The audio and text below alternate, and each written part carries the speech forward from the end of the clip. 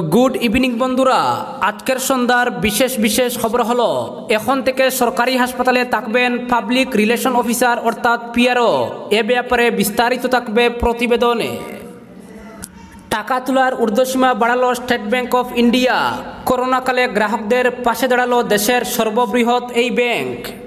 কৃষকদের সুবিধার্থে এক হাজার গাড়ি কেনা হবে, নির্মাণ করা হবে বৃহৎ হিমঘর, বললেন কৃষিমন্ত্রী অতুল বোরা।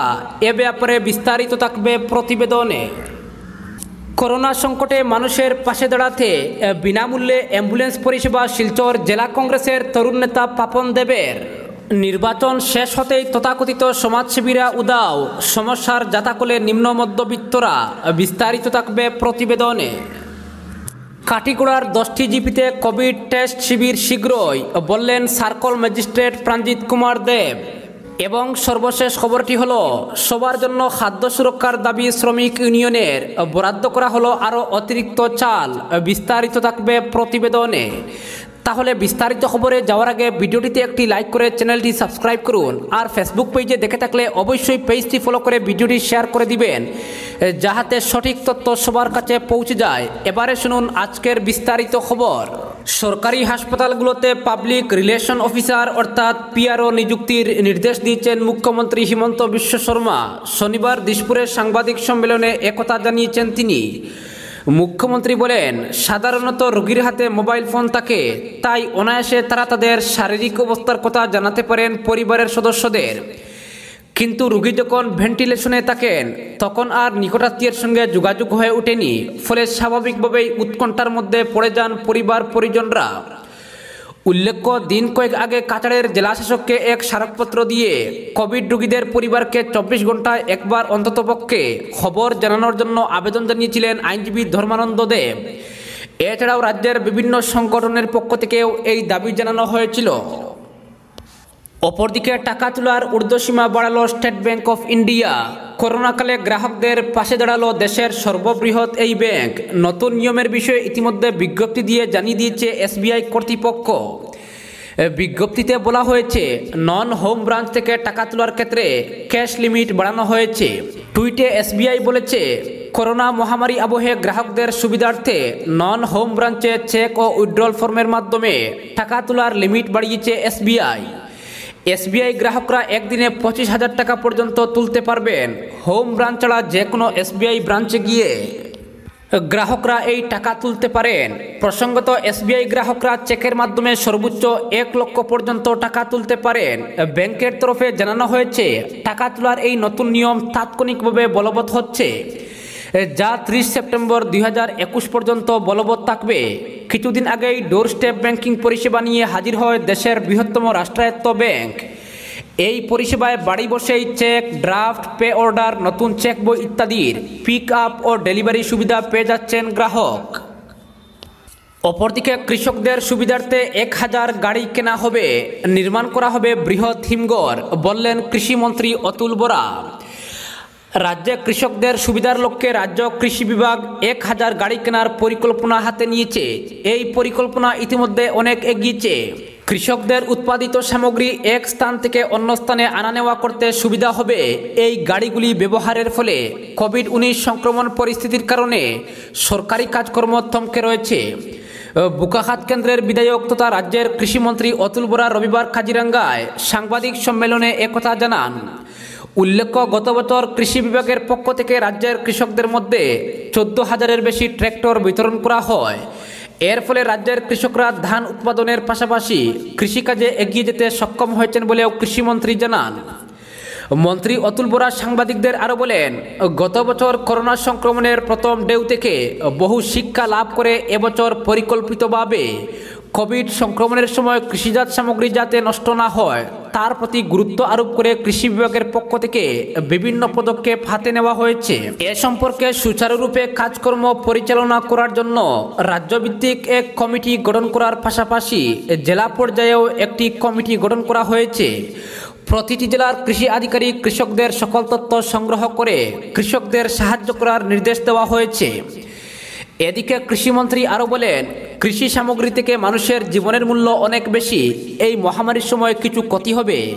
তবে বিভাগের তরফে এক নীতি নির্দেশিকা জারি করা হয়েছে। যাতে কৃষকের উৎপাদন করা সামগ্রী কৃষি আধিকারিকদের সঙ্গে যোগাযোগ করে রফতানির ব্যবস্থা করা হয়। উল্লেখ্য, কোভিড মহামারীর সময় কৃষকের উৎপাদিত সামগ্রী উপযুক্ত বাজারের অভাবে যাতে নষ্ট না হয়। এর জন্য রাজ্যের বাহিরে গ্রাহককে ক্রয় করতে আমন্ত্রণ জানিয়েছেন কৃষিমন্ত্রী অতুল বোরা।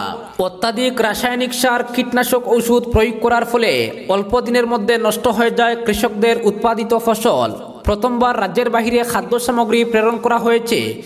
যদিও এবার গ্রাহকরা কিনতে অনীহা প্রকাশ করায় সরকার প্রচেষ্টা চালিয়ে আসছে।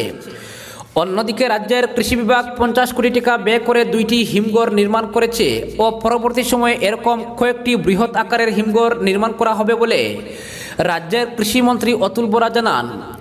এদিকে বোকাখাতে একটি হিমঘর নির্মাণ করার কথা মন্ত্রী বোরা ঘোষণা করেছেন।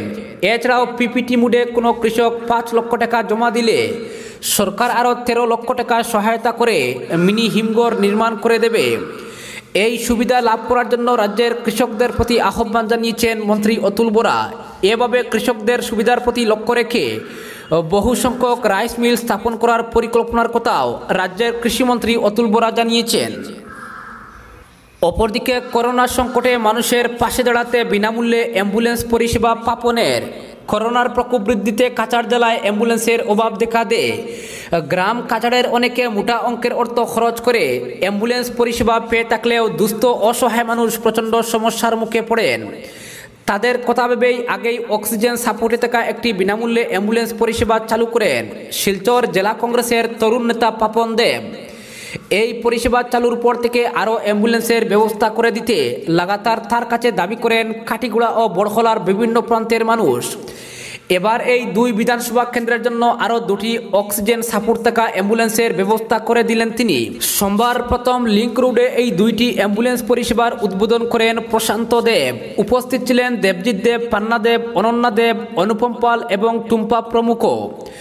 অনাড়ম্বর সংক্ষিপ্ত উদ্বোধন অনুষ্ঠান শেষে পাপন দেব বলেন, সর্বভারতীয় কংগ্রেসের সভানেত্রী সোনিয়া গান্ধী এবং কংগ্রেস সভানেত্রী সুস্মিতা দেবের অনুপ্রেরণায় করোনা পরিস্থিতিতে সাধারণ মানুষের কথা ভেবেই সম্পূর্ণ বিনামূল্যে সপ্তাহে সাত দিন চব্বিশ ঘণ্টা অক্সিজেন সাপোর্ট থাকা অ্যাম্বুলেন্স পরিষেবা চালু করেছেন তিনি।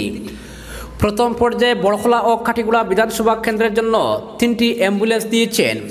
এতে কোভিড বা অন্য সাধারণ রোগী এই দুই বিধানসভা কেন্দ্রের যে কোনো স্থান থেকে মেডিকেল বা যে কোনো হাসপাতালে যেতে পারবেন। লাগবে না পেট্রোল খরচ, চালকের ভাতাও। সবই বহন করবেন তিনি। ফার্স্ট কাম, ফার্স্ট সার্ভিস এই নীতিতে দেওয়া হবে পরিষেবা। এই পরিষেবা পেতে কাটিগুড়া বিধানসভা কেন্দ্রের জন্য ব্লক কংগ্রেস সভাপতি হুসেন আহমেদ চৌধুরী, সাধারণ সম্পাদক শরফুল আলম চৌধুরী যুবক কংগ্রেস নেতা তনুজ দাস, বড়খলা এনএসইউআই জেলা সভাপতি মাসুক আহমেদ লস্কর, কংগ্রেস কর্মী আলী আহমেদ লস্কর, মান্না দাস ও নিবু দাসের সঙ্গে যোগাযোগ করলেই পাওয়া যাবে। পরবর্তীতে গোটা কাছাড় জেলায় এই পরিষেবা চালুর পরিকল্পনা রয়েছে। তিনি বলেন, কোনো রাজনৈতিক উদ্দেশ্য নয়। এই কঠিন সময়ে মানুষের পাশে দাঁড়াতেই এই পরিষেবা চালু করেছেন। অপরদিকে নির্বাচন শেষ হতেই তথাকথিত সমাজসেবীরা উদাও, সমস্যার জাতাকলে নিম্ন মধ্যবিত্তরা। করোনার দ্বিতীয় ঢেউ আসার পর দেশে বিশেষ করে আসামে আর পুরোমাত্রায় লকডাউন দেওয়া হয়নি, যার ফলে সকালে ঘণ্টা কয়েক হাটবাজার খোলা থাকে। স্বাভাবিকভাবে এই সময়ের মধ্যে ব্যবসা করা কঠিন হয়ে পড়ে। অন্তত যাদের ব্যবসায়িক প্রতিষ্ঠান বাড়ি থেকে অনেক দূরে, তাদের সমস্যা অনেক বেশি।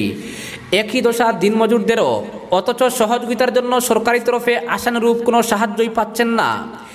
একইভাবে উদাও হয়ে গেছেন তথাকথিত সমাজসেবীরাও, ফলে অনেকেই অনাহারে অর্ধাহারে দিন কাটাচ্ছেন।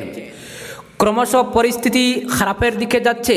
দরিদ্র ও মধ্যবিত্ত পরিবারের পাশে এখন কেউ নেই বললেই চলে। এবছর ছিল বিধানসভা নির্বাচন। আর নির্বাচনে প্রার্থী হওয়ার স্বপ্ন নিয়ে দু হাজার বিশ সালে বদরপুর বিধানসভা এলাকায় এক যাক তথাকথিত সমাজ শিবির দেখা মিলেছিল। কেউ কংগ্রেসের সম্ভাব্য প্রার্থী, কেউ এআইডিএফ, বিজেপি, এমনকি মহাজোটের প্রার্থী হিসাবে প্রচারের মঞ্চ পেয়ে গিয়েছিলেন। কিন্তু বর্তমানে এদের কাউকেই আর খুঁজে পাওয়া যাচ্ছে না। একমাত্র জাকারিয়া আহমেদ পান্না এখনও নিজেকে মানুষের সেবায় জড়িত রেখেছেন। যদিও স্বেচ্ছাসেবী সংগঠন ও সামাজিক সংস্থার ব্যবস্থাপনায় বিভিন্ন স্থানে রেশন ও ঔষধপত্র, নিত্য প্রয়োজনীয় সামগ্রী বিতরণ করতে দেখা গেছে। তবে গতবারের তুলনায় এবার অনেক কম লক্ষ্য করা যাচ্ছে। অনেকেই কর্মহীন হয়ে পড়ায় রুটি রুজির চিন্তায় অসুস্থ হয়ে পড়ছেন। চিকিৎসা খরচ কিংবা নিত্য প্রয়োজনীয় জিনিসপত্র কেনার সাধ্য এখন তাদের নেই। তেল, ডাল সহ অত্যাবশ্যকীয় পণ্যের অনেক দাম বেড়েছে গত কয়েক সপ্তাহে। সরকারও সেই মূল্যবৃদ্ধিতে লাগাম টানার ব্যবস্থা না নিয়ে নিজেদের বর্ষপূর্তি পালন করছে। আর দিনমজুর মানুষ একটা আতঙ্কময় ভবিষ্যতের দিকে এগিয়ে যাচ্ছেন। মিনি লকডাউন কবে শেষ হবে আর কবে স্বাভাবিক হবে পরিস্থিতি? এ নিয়ে প্রহর গুনছেন দরিদ্র ও মধ্যবিত্ত পরিবারের লোকজন। অপরদিকে কাটিগুড়ার দশটি জিপিতে কোভিড টেস্ট শিবির শীঘ্রই। কাটিগুড়া ব্লকের প্রতিটি জিপির সভাপতি ও স্বাস্থ্য বিভাগের আধিকারিক সহ অন্যান্যদের নিয়ে এক বৈঠকে মিলিত হন কাটিগুড়ার সার্কল ম্যাজিস্ট্রেট প্রাঞ্জিত কুমার দেব। দশটি জিপির জন্য রেড টেস্ট শিবির আয়োজন করার সিদ্ধান্ত নেওয়া হয় বৈঠকে। প্রতিটি জিপি এলাকায় আলাদাভাবে দুদিনে মোট চারটি শিবির হবে। শিবির জুনের দ্বিতীয় সপ্তাহ থেকে শুরু করার সিদ্ধান্ত নেওয়া হয়েছে। সবাই প্রতিটি জিপি এলাকায় শিবির সুষ্ঠুভাবে সম্পন্ন করার ক্ষেত্রে স্বাস্থ্যকর্মীদের প্রতি সহযোগিতার হাত বাড়িয়ে দেওয়ার জন্য জিপি সভাপতিদের প্রতি আহ্বান জানিয়েছেন ম্যাজিস্ট্রেট প্রাণজিৎ দেব। পাশাপাশি স্থানীয়রা যাতে স্বেচ্ছায় অংশগ্রহণ করে টেস্ট করানোর উদ্যোগ নেন, প্রতিটি জিপি এলাকার স্থানীয়দের উৎসাহিত করতে জিপি সভাপতিদের প্রতি আহ্বান জানিয়েছেন তিনি। বৈঠকে হোম আইসোলেশনে থাকা আক্রান্তরা স্বাস্থ্য বিভাগের কোভিড বিধি পালন করছেন কিনা তা খতিয়ে দেখার পাশাপাশি আইসোলেশনে থাকা আক্রান্তের সুবিধা ও অসুবিধার খবরাখবর নেওয়ার জন্য জিপি প্রতিনিধিদের নিয়ে কমিটি গ্রহণের সিদ্ধান্ত নেওয়া হয়েছে। তাছাড়া প্রতিটি জিপি এলাকায় হোম আইসোলেশনে থাকা পজিটিভ রোগীদের বাড়িসহ অন্যান্য জনবহুল এলাকাকে স্যানিটাইজেশন করার জন্য প্রতিটি এলাকার জিপি সভাপতিদের প্রতি আহ্বান জানিয়েছেন তিনি। একইভাবে গ্রাম কাটিকুড়ার প্রত্যন্ত অঞ্চলসহ বাগান এলাকায় গণসংক্রমণ রোধে সরকারের বেঁধে দেওয়া নতুন এসওপি অনুযায়ী বিভিন্ন ধরনের সিদ্ধান্ত নেওয়ার কথা জানিয়েছেন সার্কল ম্যাজিস্ট্রেট প্রাঞ্জিত কুমার দেব। সবাই অন্যান্যদের মধ্যে উপস্থিত ছিলেন সার্কল অফিসার এন্টাস অন্তরা পাল, বিক্রমপুর হাসপাতালের SDMO doctor Mansur Ahmed, Katigora model হাসপাতালের ডাক্তার ডক্টর রত্নাথ চক্রবর্তী, গণিগ্রাম হাসপাতালের ডক্টর দীপজ্যোতি ভট্টাচার্য, স্বাস্থ্য বিভাগের বিভিন্ন স্তরের কর্মী ও আধিকারিক সহ ব্লকের অন্তর্গত। বিভিন্ন জিপির জিপি সভাপতি ও অন্যান্যরা। এদিকে বৈঠকে ফুলবাড়ি জিপি সভাপতি ইকবাল আহমেদ বড়বুইয়া সহ অন্যান্যরা। ফুলবাড়ি প্রাথমিক স্বাস্থ্যকেন্দ্রে আঠারো থেকে চুয়াল্লিশ বছর বয়সের লোকদের জন্য ভ্যাকসিন সেন্টার খোলার আবেদন জানিয়েছেন। পাশাপাশি ওই হাসপাতালে আঠারো অনুর্ধদের ভ্যাকসিন অভিযান শীঘ্রই আরম্ভ করার জন্য আহ্বান জানিয়েছেন। অপরদিকে সবার জন্য খাদ্য সুরক্ষার দাবি শ্রমিক ইউনিয়নের। শ্রমিক, কৃষক, মজুর সবার জন্য এই করোনাকালে খাদ্য সুরক্ষার দাবি জানালো আসাম মজুরি শ্রমিক ইউনিয়ন। করোনার দ্বিতীয় ডেউয়েও এই শ্রেণির মানুষদের আক্ষরিক করতেই বিপন্ন করে তুলেছে। মজুররা কাজ করতে না পেরে উপার্জনহীন হয়ে পড়েছেন। করোনা সংক্রমণ বেড়ে যাওয়ায় মজুরদের কাজ জুটছে না। কৃষকরা তাদের উৎপাদিত শাকসবজি বাজারজাত করতে পারছেন না। সকাল এগারোটাতেই দোকানপাট বন্ধ হয়ে পড়ায়। তারা সময় মতো বাজারে পৌঁছাতে পারছেন না তাদের উৎপাদিত সামগ্রী। ঠিক একই কারণে মাঝারি ও ছোট ব্যবসায়ীরাও লোকসানের মুখে পড়েছেন। এরকম শোচনীয় পরিস্থিতি তাদের পরিবারের ভরণ পোষণের ব্যাপারে গভীর সংকটে পড়েছেন। তারই পরিপ্রেক্ষিতে এই সব শ্রেণির মানুষের খাবার ব্যবস্থা নিশ্চিত করতে দাবি জানিয়েছে আসাম মজুরি শ্রমিক ইউনিয়ন। ইউনিয়নের জেলা সম্পাদক পারভেদ খসরুল লস্কর এ দাবি জানিয়ে বলেন, অসামরিক সরবরাহ বিভাগ বিভিন্ন পর্যায়ে চাল বরাদ্দ করেছে। ন্যায্য মূল্যের দোকানের মাধ্যমে এই চাল বিনামূল্যে কার্ডদারীদের বন্টন করা হবে। তিনি উদাহরণ দিয়ে বলেন, মে মাসে অন্তদয় যোজনায় পঁয়ত্রিশ কেজি করে, খাদ্য সুরক্ষা যোজনায় মাথাপিছু চার কেজি নয়শো আটাত্তর গ্রাম করে, এবং আরও অতিরিক্ত চাল অন্তদয় যোজনায় মাথাপিছু চার কেজি নয়শো সত্তর গ্রাম করে ও খাদ্য সুরক্ষা যোজনায় চার কেজি নয়শো সত্তর গ্রাম করে বিনামূল্যে বিতরণের জন্য বরাদ্দ হয়েছে। তিনি বলেন, যাদের এ জাতীয় কার্ড রয়েছে তারা পাবেন, কিন্তু যাদের কার্ড নেই তাদেরকেও ন্যায্য মূল্যের দোকান মারফত চাল, ডাল, নুন, তেল, আটা, চিনি এসব সরবরাহ করতে হবে। তবে কৃষক, মজুর, ছোট ও মাঝারি ব্যবসায়ী সহ সমাজের নিচের স্তরের মানুষ উপকৃত হতে পারবেন। নতুবা অনাহার তাদের জন্য অপেক্ষা করছে। আর এতে সমাজে নানা ধরনের বিশৃঙ্খলা দেখা দিতে পারে। চুরি চিন্তায় ইত্যাদি অপকর্ম বেড়ে যেতে পারে। আইন শৃঙ্খলা পরিস্থিতির অবনতি হতে পারে।